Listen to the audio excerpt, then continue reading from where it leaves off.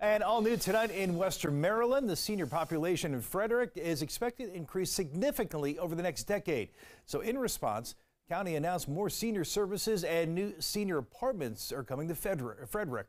The plan includes the new Montevue Senior Living, which will be built next to their current senior living facility that has about 84 units. Seniors can also expect 55 more beds at a local care and rehabilitation center for those who required skilled nursing.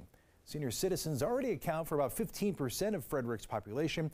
County officials believe expanding the program is the only answer where we know that the number of seniors is expected to quadruple in the next decade. So keeping pace with that, but also keeping pace with their emerging needs, um, their desire to uh, perhaps have services in the community where people can age in place longer.